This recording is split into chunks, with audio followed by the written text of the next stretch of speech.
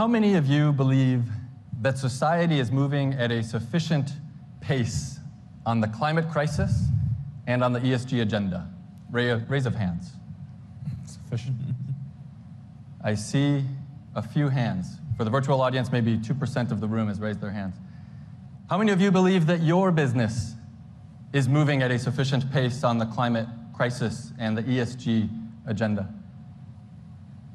We've gone down to zero point not percent. Well, so the four leaders to my left represent businesses that are accelerating this agenda, and they're going to have a chance to elaborate a little bit more than I let you all. Now, I think what's important is that they are representing solutions that are scaling the uh, effort against climate change and also other aspects of ESG. And so in the next 28 minutes, we're going to talk to these essential players and understand how are they accelerating the agenda through the lenses of technology and collaboration. Kuntoni, let's start with the money.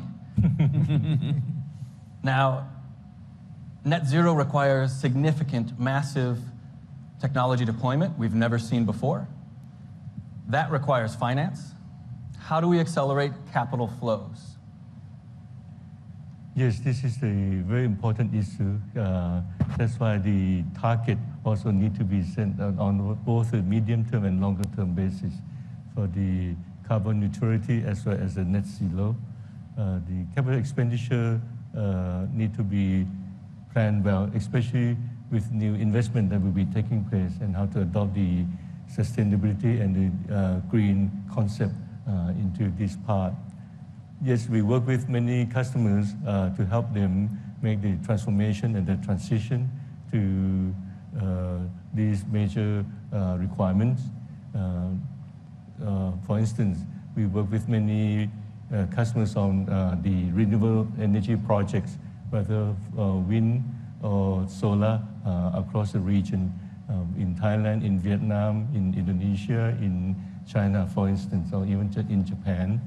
And also we work with many of the companies that making the transition to uh, reduce the carbon emission and also uh, reduce different types of uh, carbon dioxide, uh, for example, in the installation of the solar panel for their manufacturing facilities uh, for energy saving.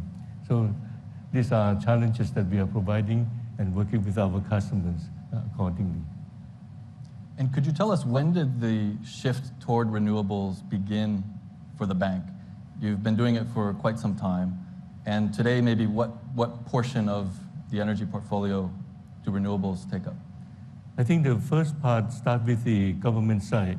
I think some over 10, 15 years ago, uh, the government started with the consideration of the diversification of the energy sources, which I think uh, previously mostly on the fossil base we have some hydro uh, power, but uh, mostly in the coal, lignite, or the uh, fossil base. So over the next, over the last 10, 15 years, government have been and systematically on the renewable energy with the solar energy, then later on with the wind, and initially with significant uh, support, uh, financial support, tax support in order to make the project moving forward.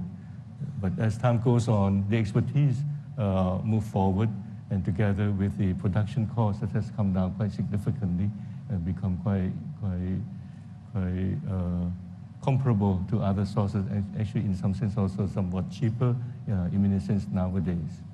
So we work with uh, those customers uh, along that basis, uh, both in terms of the commercial loans and later on also access to the capital market to the green bond, sustainable bond, and also sustainability, sustainability linked bonds, which also have certain targets uh, for the corporates to achieve. Uh, yes. And I, I, haven't looked on Bloomberg just this moment, but uh, I know in the past you have been a, a, leader of the market share for green bonds. Does that stand very true in Thailand today? Yeah, I think uh, about 70% of the bond issuance uh, on the green bond and the sustainable bonds uh, we have always been uh, a lead uh, underwriter in that process. Mm -hmm. Manish, we, we heard Kuntoni speak a little bit about uh, renewable energy. Um, there's, there's a whole lot to the energy system, supply side, demand side. And Schneider Electric brings a whole lot of different technology solutions to market, critical for decarbonizing. Could you tell us what you are particularly most excited about? Sure, um, and, and thank you. Great to be here. We'll follow the money. Uh, I, I would say, yes, at Schneider Electric, we are the digital partner for sustainability and efficiency. Uh, you know, today, uh, 80% uh, of uh, the problem of carbon is linked to energy. And uh, what we say at, uh, that 70% of this problem can be resolved today. I think this has been the theme of this morning that we need to move fast and there are solutions which have been existing today. Uh, if you, the equation uh, is simple, uh, or if I oversimplify it, it is electrification plus digitization is equal to sustainability. And why? Because you know, electrification is the best vector of decarbonization because it can be renewable, it could be uh, stored, you could work with microgrids, it could be decentralized, it could be coming close. Uh, and then you have uh, digital, which is the best vector for efficiency. Uh, and I say that because digital is making energy visible. So today you have connectivity from plant to plug uh, across the full flow of energy that was not possible. Now, thanks to COVID, we've had, uh, and you know, we have seen the acceleration of digitization. We have episode one of internet, which is about connecting people to people. Now we have to go faster on the episode two, which is connecting machines to machines and machines to people. Uh, and, and, and together with this, we are able to, to drive much more sustainability. Now, if I, if I go to the next step, you know, this 70% uh, of the solution exists from technologies today. And, and we say that because, uh, you know, there you can look at the demand side as well as the supply side. On the demand side, uh, which is more pressing and something that we can address today, and, and thanks to you know, financing which is available, uh, first is about energy efficiency. We need to drive much more energy efficiency, which can solve, according to our studies, uh, almost 25% of the problem. Then it is electrification. I mean, we, we, we heard from, uh, from Nissan this morning, electric vehicles are uh, more efficient. Uh, and you know, uh, electric, electrical energy is much more efficient than any other form of, of energy. You know, you can feed in an electric vehicle directly to the, to the wheels of the car the energy, so you're not wasting, you know, in, in very simplistic terms. The, th the same about process electrification. So electrification can resolve almost 30% of the problem. Electricity is, uh, you know, today as it's roughly, and I think I quote uh, Bloomberg here, uh, around 20% of uh, the primary energy is, is electrical. Uh, that is going to almost triple in, in the coming three decades. So electrification is the other solution that we have. And finally, we have the supply side, which is other 45%, which is, again, uh, decentralized. You need to make sure that you're ready for that bidirectional flow of energy uh, through, uh, through microgrids, through storage, through electric vehicles feeding back into the grid, etc. And, and you know, this is what is going to solve uh, today those issues. And you know, 2030 is around the corner where we are, we are committed to reducing by 50%. And if you don't meet 2030, I think 2050 is far away. So you know, this combination of electrical and digital, and uh, I think there's no energy transition possible without the digital transition, and, I, and, and the two go together. Kunpanot, uh, it was farmland, and then it was a radio station, and now it's the most expensive mixed-use development in all of Thailand. Tell us about One Bangkok, and why should we be excited about it after this video and I'm sure it links to a few of the things that, that Manish has talked about. Thank you, thank you. And thank you, Mark. Thank you, Bloomberg. I think the, the important part of what we do is to think a lot about sustainability. And you know, at Frasers Property, we, we know real estate make a big impact to carbon emissions. We contribute to 40% of globally of carbon emissions in, in the real estate sector. And if you talk about city development, uh, we are account for 70% of the carbon emission. So sustainability and carbon neutral objective is very important to our strategy. Um, the knowledge that we, we built over since uh, the first initiative of uh, sustainability uh, and green development started in 2006. Uh, we have evolved and it takes time because you know real estate cannot be changed overnight. Uh, and as mentioned of, of many of the discussion today, we talk about if this going to work, it's because of collaboration, because of like-minded uh, you know approach. And um, together, the most important part is technology as well. Uh, definitely, the partnership with with Schneider is uh, is definitely the, the journey as well to us. So at One Bangkok, it's, it's a collective uh, experience and knowledge as well that we did across different parts of the world. Uh, and many of initiative, even brownfield, also start to happening because of what uh, Minister Fu mentioned on the collaboration and the effort of Singapore government together with Singpower, Temasek. Uh, we work together to create a new green uh, energy node as well, uh, like our retail center in Tampines. We work together to create uh, a more adaptive EV solutions to create it, um, the thinking on, on joining uh, with multiple developer to create district cooling on a brownfield uh, projects. So those are the, the change we want to continue to make. And many of those things uh, drawn to an ambitious uh, scale of one Bangkok, where it's built out of close to 20 million square feet on a single development planning that allow us to create uh, the, one of the largest district cooling uh, by uh, first by private sector and working together with a strong experience of Gulf Energy, Tokyo Gas, and Mitsui. Uh, so we're able to provide the, the thinking on what the future real estate look like and how it could be future proof but that's only a beginning of the stage where uh, from that, then the design, the collaboration with the technology partners, uh, with user, with even the better insight that we, we work with Accenture to create a new thinking on customer journey. We work with Hitachi on creating the new smart cities thinking, how uh, with the single connected development of office, hotel, retail, residential, uh, we can see uh, in the trends of, of the city development, mixed use will become uh, the model that component need to be more connective. And that will build first thing on energy efficiency. It will build into a better circular economy.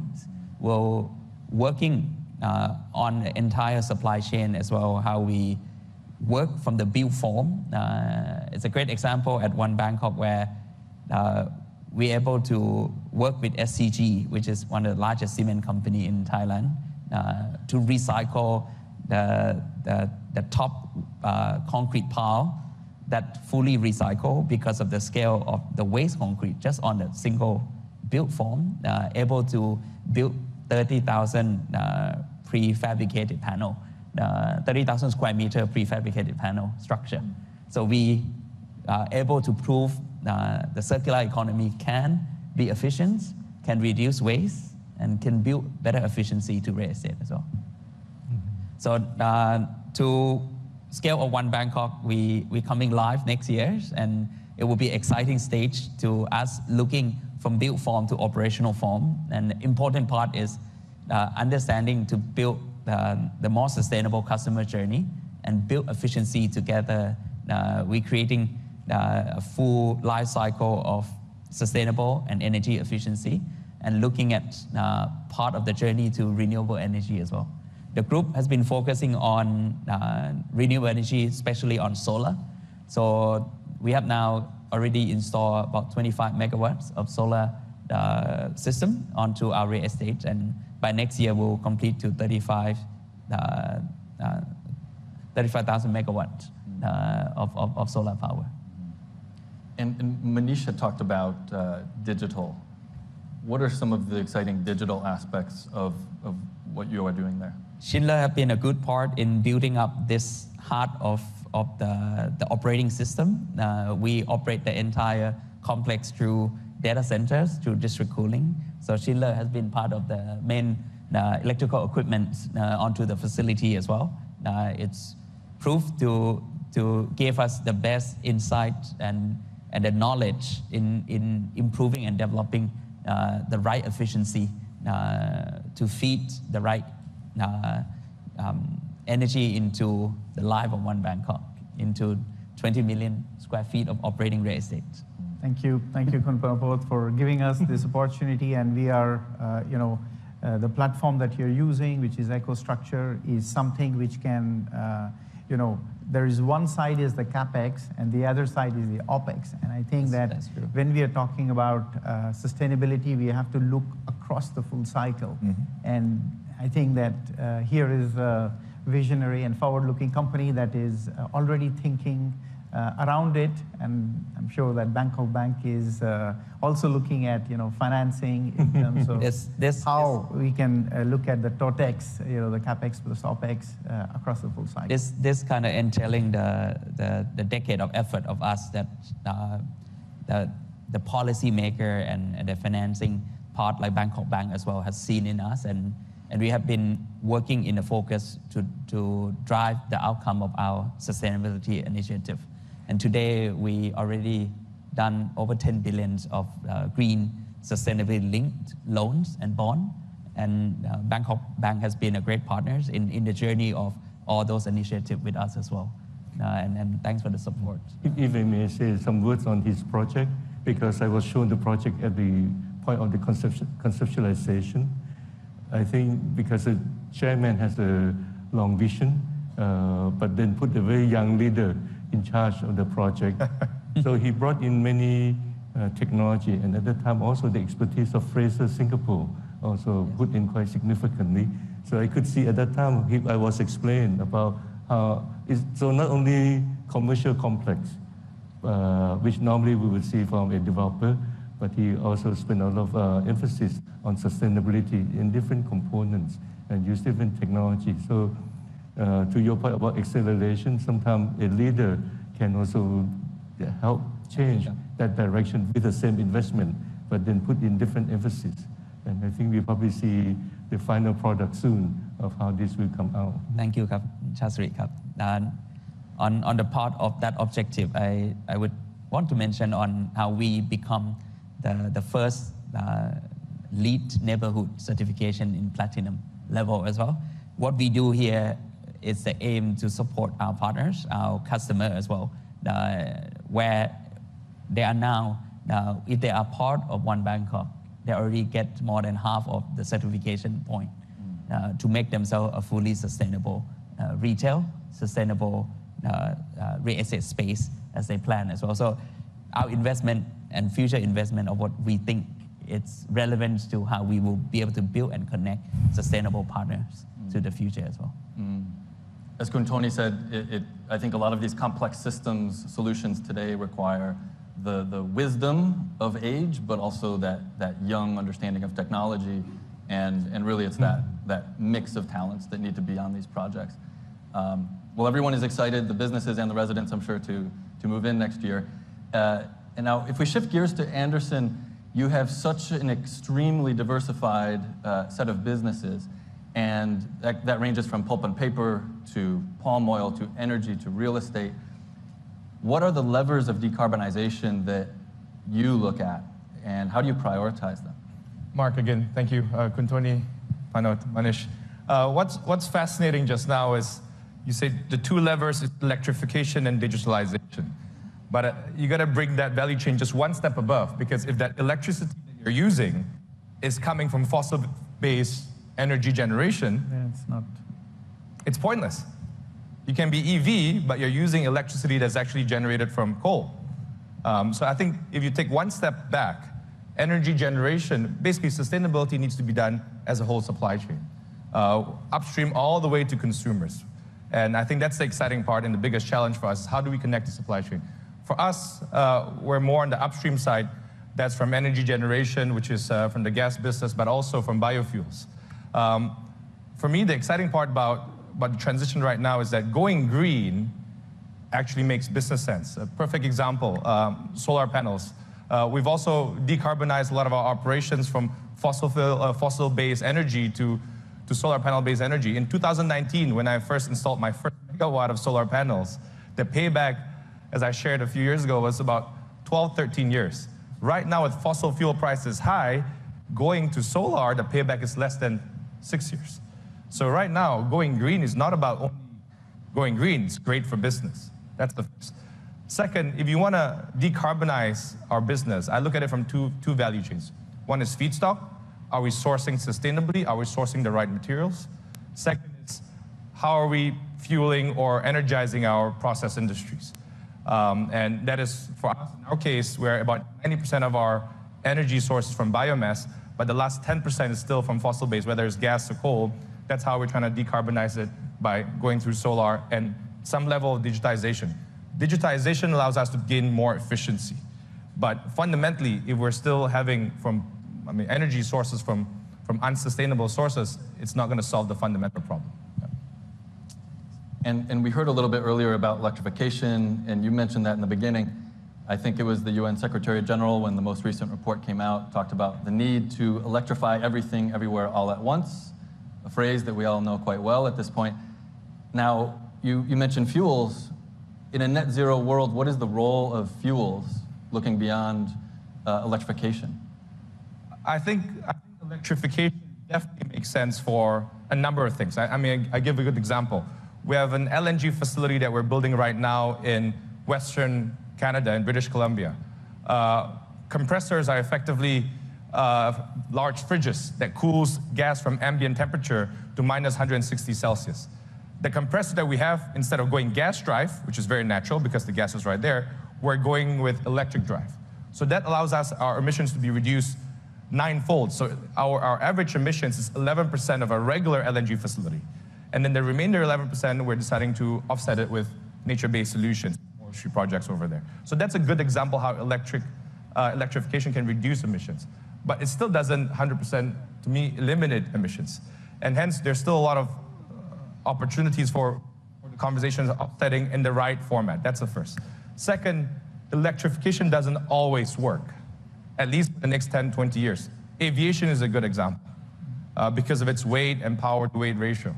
So I think if um, I think there'll be still a, maybe another 5, 10, 15, 20 years where you see planes flying on electric batteries because of its weight. So that's when biofuels come in. I think there's a lot of discussion about sustainable aviation fuel. Not only, I think Europe just launched a mandate, 2% uh, of SAF blending starting 2025 and 1% increase every single year up until 2030.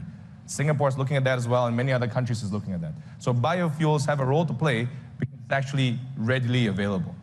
Of course, the big challenge of biofuels is food versus fuel, right? I mean, are, are we using corn, uh, edible oils to actually go into fueling machines? Um, and in an inflationary environment like this now, it's very, very sensitive. So we have to move towards next generation feedstock or, or, or second generation feedstock of biofuels, which is recycled oil, which is agricultural waste. Uh, again, bringing the circular economy concept to make sure that we're decoupling uh, food versus fuel conversation.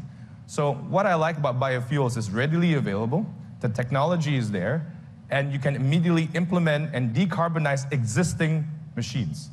Uh, even though, yes, they're internal combustion engines or turbine engines, but you, are immediately solving this problem in the next 10 years. So that's the exciting part about biofuels. Readily available feedstock, readily available machines. To convince the airlines, Boeings and Airbus, to switch to electricity in the next 10 years, that's going to be a stretch. I don't think we'll be on that airplane, but at some point we'll, we'll be on one of those. We'll see. Now, if we go back to you, Kuntoni, you know, we talked about capital, and naturally that is collaboration. You're providing capital into your customers and into the market. What are some of the other ways that you're influencing or, or supporting your customers? Uh, yes, you have asked us earlier about how Thailand started with the renewable energy and certain uh, incentive provided in order to get the business moving. Uh, energy is the largest uh, carbon emission I think next is the logistics. And in Thailand, I think they also try to convert and have the adoption of the electric vehicle, the EV. So the last, the next year, promoting the adoption of the use that purpose.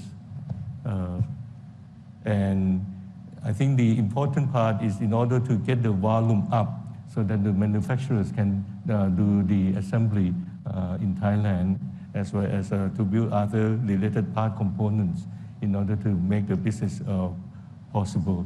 So yes, uh, on one hand, to go for sustainability, economics is also an important factor, and certain incentive also is needed in order to keep, uh, in order to make it possible, and also then we'll be able to survive in the medium to longer term. Actually, on uh, Anderson's point on the biofuel, for example, in Thailand, the usage of the agricultural products to fuel related also help farmers to be able to stabilize the uh, price of the food uh, of, of their products, which is also good for them for the long-term uh, purpose and also so that the, the subject less to the volatility of the agricultural because industrial products sometimes prices are more stable. It's such an important point in terms of the S of ESG and really the inclusive nature that we need to have in this energy transition is, is farmers and other groups that may not be part of that technical solution, but actually can play a role, things like feedstocks and the way this can be circular, as Anderson and Kumpanot talked about as well. Um, Manish, you talked, you were, you were saying some really fascinating things separately earlier about how you influence your suppliers and tell us about that collaboration and how do you bring the whole ecosystem along? You know, uh, you know, sustainability is about achieving together, and uh, it's something that uh, we have to embark the whole ecosystem. And for us, uh, you know, uh, we have to also think upstream. I think taking Anderson's point, and this is about how we are able to work with our suppliers. So if we have, if we are committed to net zero by 2050, we need to make sure that our suppliers as well are embarking on that journey. So we have launched what we call as a zero carbon project, where we have taken our top 1,000 suppliers. Uh, actually, a quarter of them are here in, in this region. Uh, and we want to get them uh, on a path of uh, reducing 50% of their carbon intensity by 2025. So it's a, it's a much more ambitious program because it's uh, taking the top 1,000. So we have created a playbook for decarbonization for them. Uh, we are using uh, what we use for, for our customers, for our suppliers, just as we use it for ourselves in our, in our facilities, and get them on this path, helping them get into renewables and to see how they can be on this journey. Uh, today, pleased to see that uh, we are almost at about 18% in terms of the journey, and we started this program in 2021. So, you know, we are on the right path. We've also extended this program working with some of our customers. So we have uh, Energize program, which is with the pharma industry, where we are helping their suppliers get on this. Gigaton is with, with Walmart, the same project for the Walmart. And recently we did a Catalyze uh, program with uh, Intel and Applied Materials to see how we are able to take it into the semiconductor industry. So this, this, uh, this achieved together, that working together, uh, is something which is very, very important. And you know, we are, we are pleased that we can share what we are doing ourselves uh, with our suppliers. Thank you. And, and Kun Panot, you mentioned collaboration earlier, and you've all talked about that, that ecosystem, but in terms of One Bangkok and really any of your projects, how do you identify the right partners who are with you in that agenda you have on sustainability, even when it may mean greater costs and you need to bring them along, you need to influence them? the beginning definitely have to be the vision first because of you know everybody can provide technology provide expertise but do they have the like-minded the alignment right to sustainability? And it, it is the portion of, of uh, what we see that it's not a short journey it's a, it's a continuous journey. Um, in, in our part Frasers set out you know as one of the first uh, real estate listing in singapore stock exchange to set our uh, carbon neutral objective by 2050, and we set our science-based uh, target. Um, the view of that is uh, it built into three stage. Uh, we built to to get ourselves ready uh, to that target, but the stage of making sure we work with all our partners, all our tenants, all our customer, to making sure we all help to meet that target together is the most crucial part. So we start to want to making sure we engage uh, deeper in, in the vision and the outcome beyond the business as well. And, and once that's done right, it's actually what Anderson mentioned, it's become uh, even more viable because we are looking at the new efficiency. We are looking at the more sustainable outcome of our business. And end up all this part as, as we look at this of, of seeing in a broader base of what impact us as the world, as our society, our communities, that become the objective of the projects that we are doing. Uh, it's, it has to drive it people-centric. It has to drive it the smart thinking on smart cities, on smart real estate. But the third part is then if you do that right, then the sustainability should be there. And sustainability beyond green is, is also the knowledge of the process uh, to get there. Right. And, and Anderson, similar question. Uh, when we think about the alignment you have to do upstream and downstream with your partners, even when economics may not suggest it, regulation may not require it, how do you, how do you work with those partners to, to drive and, and really accelerate your agenda? Mark, th- thank you for the um, question. It's, it's fascinating. I always believe the saying, it's an old African saying, to go fast, you go alone. To go far, you have to go together, right? Unfortunately, in this climate uh, problem that we have, we have to go fast and you have to go far.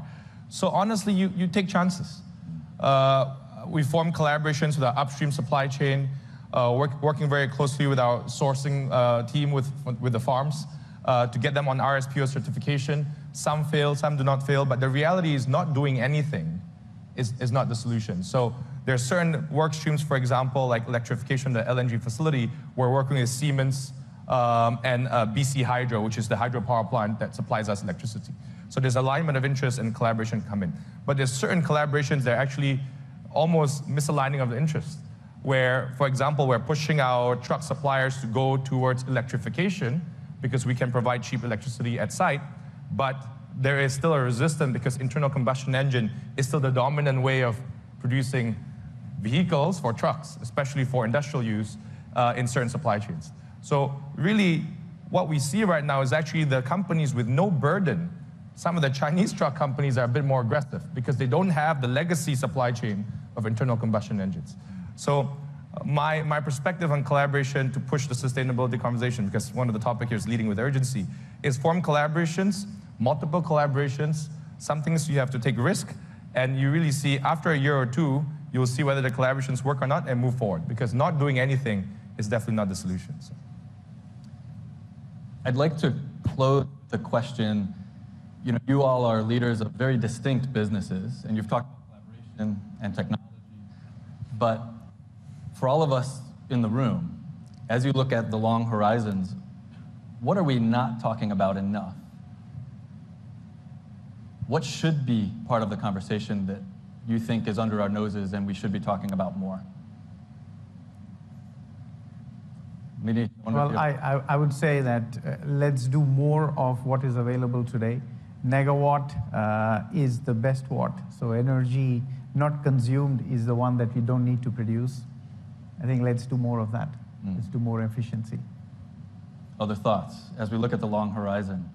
What should we be paying attention to? Other than GPT, we're all paying attention.